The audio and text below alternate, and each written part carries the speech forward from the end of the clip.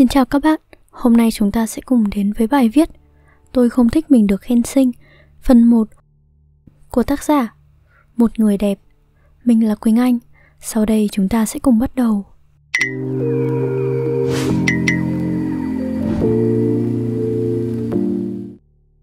Tôi không thích mình được khen sinh Phần 1 Tôi bắt đầu nhận thức được rằng mình là một đứa trẻ xinh xắn từ hồi tôi 5 tuổi. Khi bất kỳ người lớn nào lần đầu gặp gỡ cũng sẽ xoa đầu hoặc nụng và thơm lên má, hoặc vuốt tay nhìn tôi chiều mến rồi suýt xoa. Con nhà ai mà dễ thương quá vậy trời, da trắng quá ta ơi, lại cô hun miếng coi, con gái xinh quá đi. Tôi nhớ cứ mỗi ngày đến trường mẫu giáo là mẹ tôi sẽ làm một kiểu tóc khác nhau cho tôi. Bố tôi cũng thích ngắm con gái điệu đà, bố luôn kiên nhẫn đợi mẹ làm điệu cho tôi. Có hôm tôi được tết tóc đuôi sam, có hôm cột cao hai cái sừng, có hôm cải nơ hồng, có hôm lại đèo bằng đồ đỏ. Ngày nào cũng váy áo súng xính đi học, hát múa đọc thơ đều đủ cả. Cái miệng líu lo suốt cả ngày không biết mệt. Giày dép của tôi sắp ngay ngắn trên chiếc kệ ở ngay cửa ra vào. Tôi nhớ bố tôi đứng trước sân, bóp kèn tinh tinh, trong lúc tôi nhăn chán chống nạnh, đứng hồi lâu trước cái kệ giày đó để chọn lựa. Hễ sáng hay chiều, hay tôi đi học hay tôi học về, cứ thấy bố đèo tôi, là từ đầu ngõ đến cuối ngõ, người lớn nào cũng sẽ gọi tên tôi, rồi vẫy vẫy tay với tôi. Còn tôi thì cười tít mắt, mi gió, rồi lưu lo cái miệng. Bye bye dì Linh con đi học, thưa ông Sáu con đi học mới về. Trường mẫu giáo thường hay tổ chức thi bé khỏe bé ngoan, hay chương trình văn nghệ mừng xuân, lúc nào tôi cũng được chọn, đứng hàng đầu trong mọi cuộc biểu diễn. Nếu là hát top ca, tôi luôn được cô cho cầm micro, nếu là múa nhóm, lúc nào tôi cũng đứng ngay giữa đội hình. Nếu là biểu diễn thời trang, lúc nào tôi cũng đi cặp với bạn trai nào đẹp nhất khối, lớp mầm rồi đến chồi, rồi đến lá, năm nào cũng thế. Các bạn rất thích chơi với tôi, các bạn gái hay đến nhà tôi chơi búp bê, thích ngắm váy áo của tôi và hay khen tôi xinh. Các bạn trai hay mua bánh cho tôi ăn, tôi không thích ăn vặt nên lần nào cũng phát lại cho những bạn gái đi cùng. Tôi mơ hồ hồi tưởng về những ngày tháng đó và biết rằng tôi đã từng kiêu ngạo. Một đứa nhỏ khi được nhiều người lớn khen ngợi và suýt xoa mỗi khi nó xuất hiện, nó đâm ra có một sự tự mãn về bản thân. Tôi nhớ có một lần, hồi tôi lớp 2, mẹ của một bạn trai trong lớp đã vào tận cửa lớp lúc chúng tôi xếp hàng chuẩn bị ra về và hỏi tìm tôi, chỉ với lý do là tò mò trông tôi như thế nào mà bạn ấy về nhà suốt ngày khen sinh rồi đòi mẹ phải cưới tôi cho bạn ấy. Sau hôm đó, bạn ấy đã rất buồn vì tôi đã nghỉ chơi với bạn với lý do tôi không thích sau này lấy bạn ấy làm chồng. Tôi dần càng kiêu ngạo và tự cao hơn. Kiêu ngạo ở cái tuổi đấy là bắt đầu nghĩ mình là đứa được yêu thương vì mình xinh xắn, vậy nên không cần phải ngoan quá và cũng không cần cố gắng ngoan quá thì vẫn được yêu thương. Tôi nghĩ điều tệ hại nhất với một đứa con nít là cho nó biết nó xinh đẹp.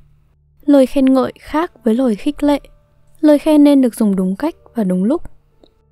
Khi tôi 9 tuổi, tôi được bố mẹ cho đi học thể dục nhịp điệu và taekwondo. Lúc đó, tôi vào học muộn hơn các bạn, nhưng chỉ sau 2 tuần, tôi đã theo kịp, thậm chí còn làm được những động tác uốn dẻo khó nhằn.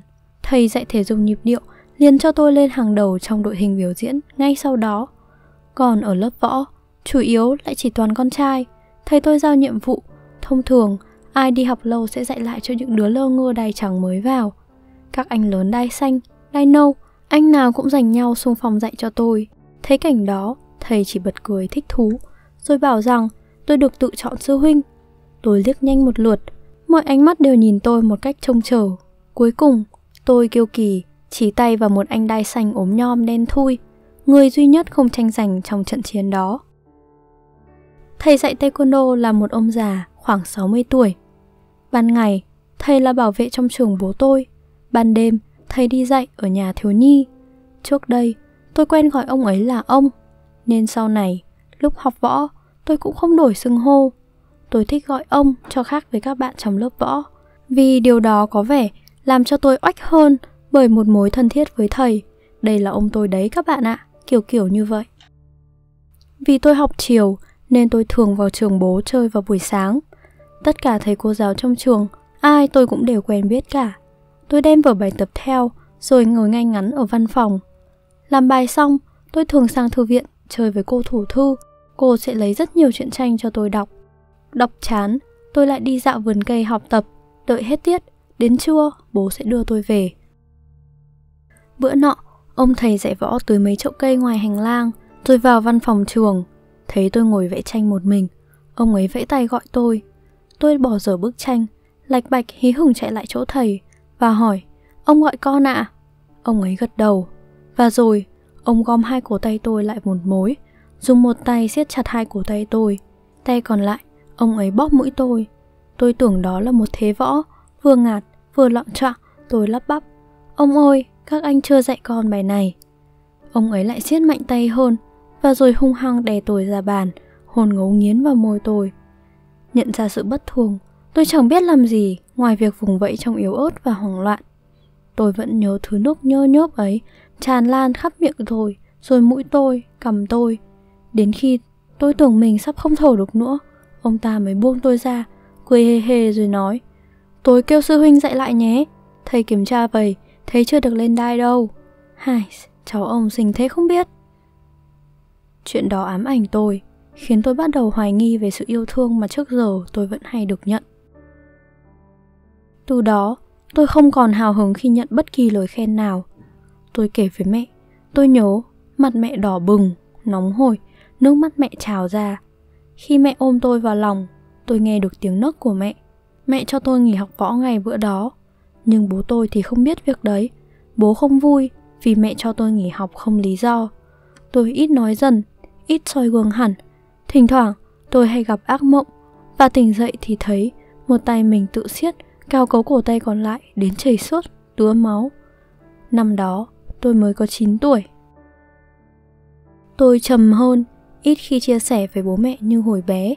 Trừ giờ cơm, tôi ra mình trong phòng. Bố mẹ nói gì thì tôi im lặng làm nấy, không phản hồi, không biểu lộ cảm xúc, không cười hay khóc, không vui hay buồn, không nhõng nhẽo, cũng không ngang ngạnh. Tôi chơi Facebook nhưng chỉ toàn đăng video tập đàn và tranh tôi vẽ. Tôi thích được khen một bản đàn hay, một bức tranh đẹp, hơn là được khen một khuôn mặt xinh. Tôi đi thi nhiều cuộc thi chỉ vì muốn được thỏa mãn cảm giác được lên bục nhận thưởng, được xuống tên, được vỗ tay. Số lượng các bạn nam thích tôi ngày càng nhiều. Có vẻ họ thích con gái ít nói và nghiêm nghị. Các bạn nữ thì càng ngày càng ghét tôi. Tôi chỉ có một nhóm bạn thân con gái. Khi được tặng bánh kẹo từ các bạn nam, tôi đem ngay sang nhóm đó. Nhóm đó vui, học giỏi, ngoan hơn tôi và đặc biệt không bao giờ khen tôi xinh. Tôi rất vui về điều đó. Rồi một lần, tôi tình cờ nghe được nhóm bạn thân của tôi nói về việc họ nghĩ tôi giả tạo vì chẳng ai là không thích được khen xinh. Họ nói tôi nhà giàu, có bố làm to nên được thầy cố thiên vị. Họ ghét cái việc các bạn nam hay viết thư tỏ tình và mua cho tôi nhiều quà bánh.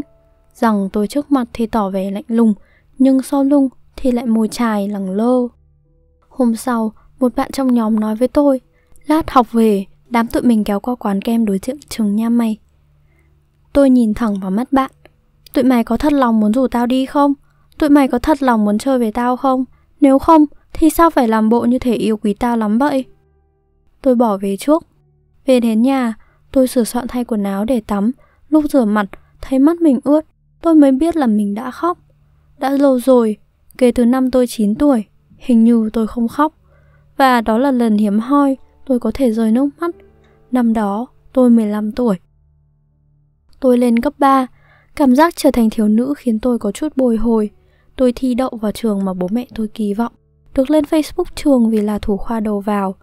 Từ ngày đó, tôi trở thành em gái quốc dân của các anh lớp trên, thành cô gái được quan tâm và sân đón của các bạn nam bằng lứa. Số lượng người add friend tôi tăng lên nhanh chóng. Thời gian đó, tôi có vẻ vui hơn, tôi yêu vô cùng tiếng đàn của mình và nhà tôi suốt ngày vàng vàng những khúc nhạc du dương. Tôi thích nhất là Ballad of Poor Adeline và ngày nào cũng chơi bài đó. Cô chủ nhiệm và các bạn đề cử tôi làm lớp phó học tập nhưng tôi không nhận. Chỉ trong một tháng đầu mà học bàn tôi đã có quà và thư của 5 người. Có hai hôm, nhà tôi còn có một cành hồng và thiệp. Bố tôi bắt đầu la mắng, trách phạt tôi. Bố nghĩ tôi vừa vào cấp 3 đã bày đặt chuyện trai gái hò hẹn. Tháng sau, chúng tôi có một confession nói rằng thủ khoa khối 10 kinh kiệu, chảnh chó. Vì tính cách hãm lờ nên cấp 2 từng bị hội bạn thân tẩy chay cô chủ nhiệm chọn vào ban cán sự mà không nể mặt cô. Tôi chỉ dám đọc một nửa, không đủ can đảm thì kéo xuống phần bình luận.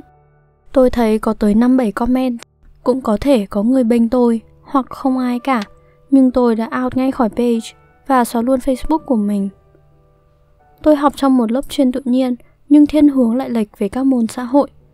Tôi không chơi thân với bất kỳ ai trong lớp, kể cả bạn nữ ngồi cạnh tôi, nhưng tôi hay chỉ bài bạn ấy, còn bạn ấy thì hay cho tôi mượn viết, coi ké sách vì tôi là chuyên gia hay quên. Dẫu vậy, cả hai đều nói ít hoặc cực ít. Nhưng thật lòng, tôi đã rất quý cô gái đó. Vì khi tất cả các bạn nữ trong tổ tụm lại nói móc mỉa tôi, bạn ấy là người duy nhất không tham gia. Cuối học kỳ 1, tôi có bạn trai, bạn ấy là lớp trưởng lớp tôi.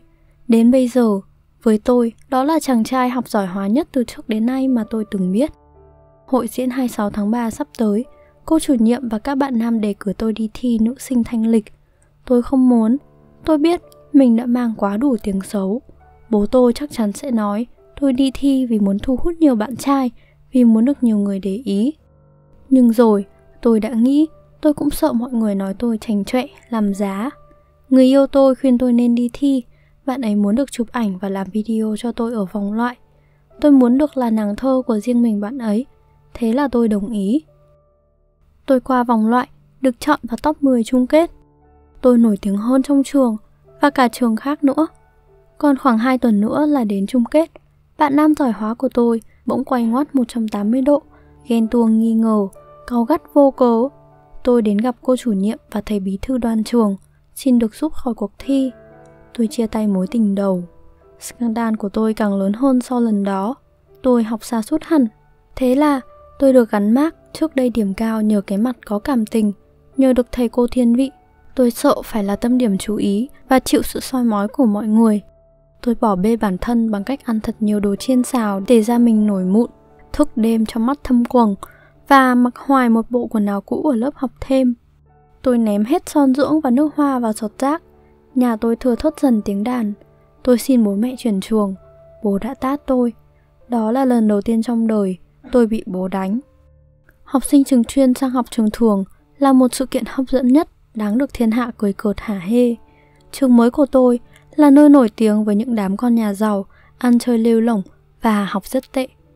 Tôi được vào một lớp chọn, nghĩa là lớp đấy đỡ hơn các lớp khác. Ở đây, tôi càng lạc lõng hơn. Tôi phải lập một tài khoản Facebook vì thầy cô giáo giao bài tập qua đó là chủ yếu. Thông báo gì của cô chủ nhiệm cũng đều gửi vào group. Và đám con trai lớp tôi liên tục gửi những tin nhắn quấy rối, bình phẩm về thân thể tôi.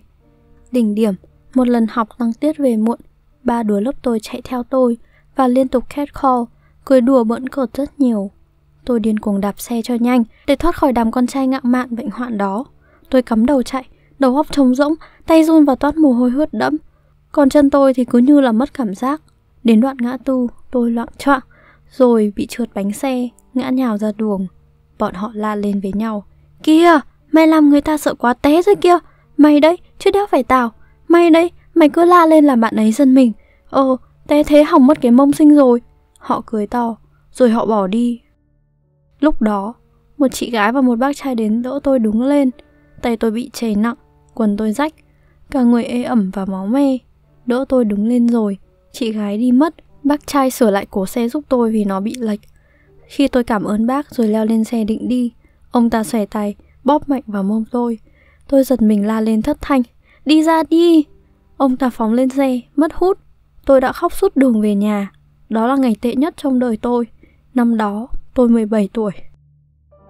Tôi không thể kể với mẹ tôi được nữa. Mọi thứ kinh khủng và tồi tệ, đến nỗi tôi không biết mình phải nói về nó ra sao, bắt đầu từ đâu, như thế nào. Bố tôi rất giận tôi từ lần chuyển trường trước. Cả tháng trời, bố không nói chuyện với tôi. Bố tôi trách mẹ tôi dạy tôi không nghiêm. Bố mẹ ngày nào cũng cãi nhau vì chuyện tôi chuyển trường. Điều đó làm tôi dày dứt. Ngày nào mẹ cũng khóc. Tôi bỏ chơi đàn. Tôi bắt đầu van xin đám đó. Nhưng tụi nó không mảy may quan tâm lời tôi nói. Thậm chí, họ còn lôi kéo thêm vài đứa lớp khác. Họ hay chụp lén tôi, bất kể lúc nào họ có thể. Thằng ngồi sau còn chơi trò búng dây áo ngực của tôi. Bọn chúng ám ảnh tôi mỗi ngày đến lớp, kể cả trong giấc mơ. Đến khi tôi nằm mơ, Thấy mình bị lột sạch áo dài giữa sân trường, tôi biết sức chịu đựng của tôi đã đạt quá giới hạn. Tôi sợ mình sẽ điên lên đến chết nếu tôi cứ bỏ mặc mọi thứ liên tục tiếp diễn. Vậy nên, tôi đã tìm gặp cô chủ nhiệm, điểm mặt hết những đứa đó. Cô tôi hẹn một ngày họp riêng, chỉ có cô, tôi và đám đó. Tôi muốn cô mời phụ huynh của họ, và họ nài nỉ cô tôi bằng ánh mắt rất thương tâm. Lý do được đưa ra là vì bạn ấy sinh nên tụi em nhất thời mới đùa một tí. Vì bạn ấy không nói gì nên tụi em nghĩ là bạn ấy thích được trêu như thế. Ở trường cũ cũng có rất nhiều người thích bạn ấy mà cô. Cô chủ nhiệm tôi im lặng mất mấy phút, rồi cô quay sang tôi và nói Em cũng phải chịu một phần trách nhiệm, không có lửa làm sao có khói. Cô cũng từng nghe nhiều chuyện về em rồi. Bố mẹ em có biết hay không? Sao em biết giấu gia đình mình mà lại muốn người khác bị gia đình khiển trách? Nếu em không nói bố mẹ, vậy sao các bạn này phải nói với bố mẹ các bạn ấy? Trong đám đó, có một đứa là cháu ruột thầy hiệu trưởng. Nó là đứa từng hỏi tôi có đồng ý làm bạn gái nó hay không. Tôi lắc đầu bỏ đi. Từ đó, nó hùa theo đám kia. Cô bảo tôi thôi đừng làm lớn chuyện. Vậy là cô chỉ bắt tụi nó viết bản kiểm điểm, rồi đưa cô giữ chứ cũng không đưa phụ huynh ký. Giây phút đó, tôi biết mình thực sự đơn độc trên cõi đời này. Hy vọng các bạn thích video lần này và sẽ tiếp tục theo dõi phần tiếp theo. Cảm ơn các bạn đã lắng nghe. Nếu các bạn còn thích những nội dung tương tự như bài viết này thì hãy đăng nhập vào spyroom.com để tìm hiểu thêm. Mình là Quỳnh Anh. Hẹn gặp lại.